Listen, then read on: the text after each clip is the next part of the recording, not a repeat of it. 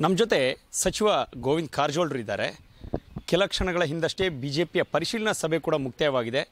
B J P ಹಿರಿಯ ನಾಯಕರಾಗಿರೋದ್ರಿಂದ ಈ ಬಾರಿಯ ಚುನಾವಣೆ ಸಾಕಷ್ಟು ಮಹತ್ವವನ್ನು ಪಡೆದುಕೊಳ್ಳುತ್ತೆ. ಅವ್ರನ್ನ ಮಾತನಾಡಿಸೋಣ.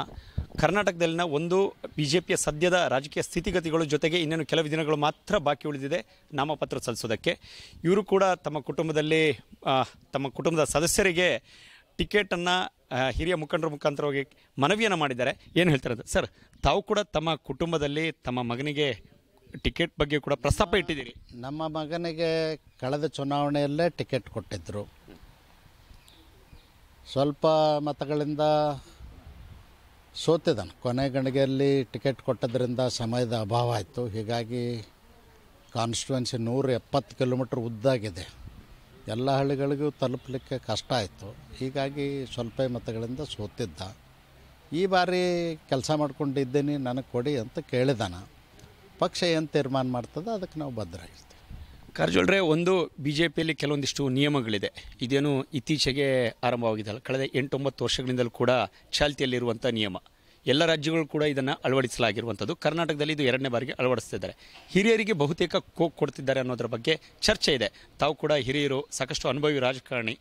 ತಮ್ಮ ಕುಟುಂಬದಲ್ಲಿ, ಒಂದು ಕುಟುಂಬದಲ್ಲಿ ಇಬ್ಬರಿಗೆ ಸ್ಥಾನಮಾನಗಳಿಲ್ಲ ಅನ್ನೋದ್ರ ಬಗ್ಗೆ.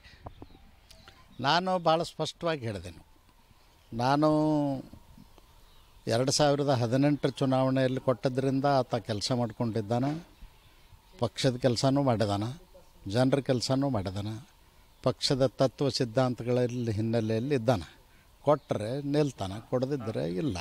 ಒಂದು ವೇಳೆ ಕಾರಜೋಳರಿಗೆ ಒಂದು ಆಪ್ಷನ್ಸನ್ನು ಕೇಂದ್ರ ನಾಯಕರುಗಳು ಮುಂದಿಟ್ಟಿದೆ ಅದಲ್ಲಿ ಒಂದು ತಾವು ಸ್ಪರ್ಧೆ ಮಾಡಿ ಅಥವಾ ತಮ್ಮ ಮಗನಿಗೆ ಸ್ಪರ್ಧೆ ಮಾಡೋದಕ್ಕೆ ಅವಕಾಶ ಮಾಡಿಕೊಡಿ ಅಂತ ಹೇಳಿದ್ರೆ? ಆ ಸಂದರ್ಭ ಬಂದಿಲ್ಲ ಆ ಸಂದರ್ಭ ಬಂದಾಗ ಹೇಳ್ತೀನಿ. ಓಕೆ. ಈ ಬಾರಿ ಚುನಾವಣೆಯಲ್ಲಿ ಬಹುತೇಕ ಬಿ ಜೆ ಪಿಯಲ್ಲಿ ಹೊಸ ಮುಖಗಳಿಗೆ ಆದ್ಯತೆಯನ್ನು ಕೊಡಲಾಗುತ್ತೆ ಅನ್ನೋದ್ರ ಬಗ್ಗೆ ಚರ್ಚೆ ಇದೆ. ಎಷ್ಟು ಜನ ಹೊಸ ಮುಖಗಳನ್ನು ಕರ್ನಾಟಕ ಬಿ ಜೆ ಪಿಯಿಂದ ನಿರೀಕ್ಷೆ ಮಾಡ್ಬೋದು? ತಮಗಿರುವ ಒಂದು ಮಾಹಿತಿಯನ್ನು ಹಂಗೆ ಸುಮ್ಮನೆ ಓವಾಪು ಆದಮೇಲೆ ಹೇಳಲಿಕ್ಕೆ ಆಗೋದಿಲ್ಲ ಚುನಾವಣೆ ಅಂತಕ್ಕಂಥದ್ದು ಯುದ್ಧ ಇದ್ದಂಗೆ. ಯುದ್ಧದಲ್ಲಿ ಗೆಲುವೇ ಮುಖ್ಯ. ಅದನ್ನಿಟ್ಕೊಂಡು ಇವತ್ತು ಪಾರ್ಲಿಮೆಂಟ್ರಿ ಬೋರ್ಡ್ನವರು ನಿರ್ಣಯನ ತಗೊಳ್ತಾರೆ. ಟಿಕೆಟ್ ಹಂಚಿಕೆ ಮಾಡ್ತಕ್ಕಂಥ ಅಧಿಕಾರ ಇರೋದು ಪಾರ್ಲಿಮೆಂಟ್ರಿ ಬೋರ್ಡ್ಗೆ. ಆ ಬೋರ್ಡ್ ಮೀಟಿಂಗ್ ಇನ್ನೂ ಆಗಿಲ್ಲ. ಆದ ನಂತರ ನಾನು ಹೇಳ್ಬೋದು. ಇವತ್ತಿನ್ನೇನು ಕೆಲವು ಕ್ಷಣಗಳಲ್ಲಿ ಸಂಸದೀಯ ಮಂಡಳಿ ಸಭೆ ಕೂಡ ಆರಂಭವಾಗಲಿದೆ. ಸುಮಾರು ನಾಲ್ಕೈದು ಗಂಟೆಗಳ ಕಾಲ ವಿಸ್ತೃತವಾಗಿ ನಡೀಬೋದು. ಈಗಾಗಲೇ ವಿಸ್ತೃತವಾದಂಥ ಪರಿಶೀಲನಾ ಸಭೆ ಕೂಡ ಮುಕ್ತವಾಗಿದೆ. ಒಂದೂವರೆ ದಿನ ನಡೆದಿದೆ ಅಂತ ಹೇಳಿದ್ರೆ ತಪ್ಪಾಗಲಿಕ್ಕಿಲ್ಲ. ಇನ್ನೇನು ಎಷ್ಟು ಮೊದಲ ಪಟ್ಟಿಯಲ್ಲಿ ಹೆಸರುಗಳನ್ನು ಆಕಾಂಕ್ಷಿಗಳ ಹೆಸರುಗಳನ್ನು ನಿರೀಕ್ಷೆ ಮಾಡ್ಬೋದು? ಬಿ ಜೆ ಪಿ ಬಾರಿ ಮೊದಲನೇ ಇದು ಆಗಿಲ್ಲಲ್ಲ. ಬೋರ್ಡ್ ಮೀಟಿಂಗ್ ಆದಮೇಲೆ ನಿರ್ಣಯ ಆಗ್ತಕ್ಕಂಥದ್ದು. ಎಷ್ಟು ಕೊಡಬೇಕು ಎಷ್ಟು ಎರಡನೇ ಪಟ್ಟಿ ಮಾಡಬೇಕು ಅನ್ನೋದ್ರ ಬಗ್ಗೆ ನಿರ್ಣಯ ಆಗ್ತದೆ ಚರ್ಚೆ ಆಗ್ತದೆ.